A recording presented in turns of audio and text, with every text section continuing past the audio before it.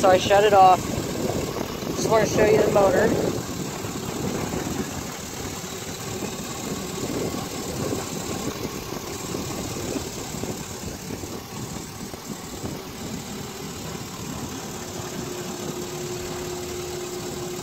Runs good, sounds good.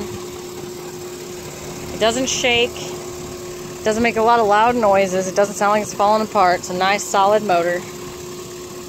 Now, just a word of advice, the hood is very heavy and because of the shape of it and the emblem here, when you put the hood down, you want to do it carefully. You don't just want to let it slam.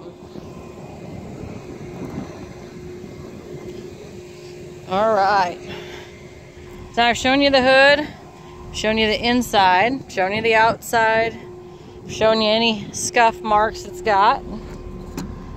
Show you the gas tank. I show you that grasshopper that comes with it.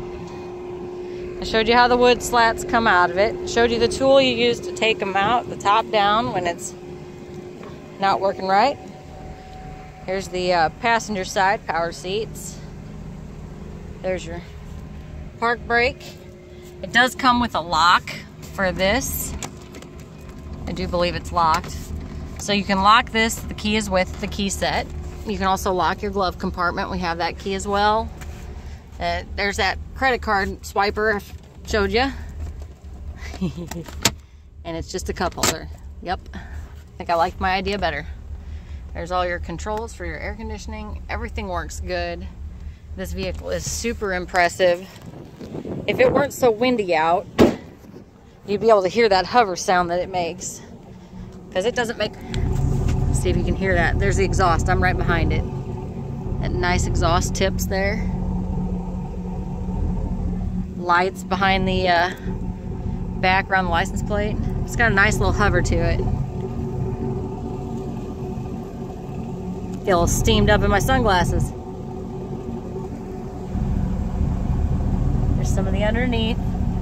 Now, as much as I like you and think you might like this vehicle, I'm not crawling under there to take a picture of the underneath for you. I will tell you, I did have it on a lift.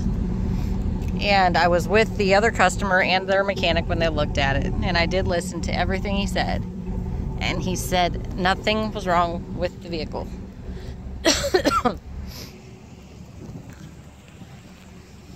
All right, Ron, so I'm gonna take it for one last trip because I plan on seeing you when you come pick it up one day. All right, I'm gonna get this put together and send it to you as quick as I can. Let me know if you have any questions.